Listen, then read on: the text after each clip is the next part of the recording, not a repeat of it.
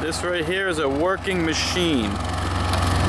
It's on, it's running, it's full of tar.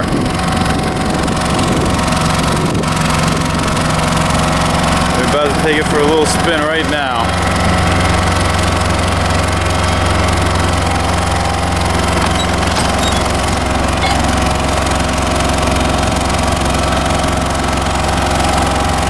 There you go.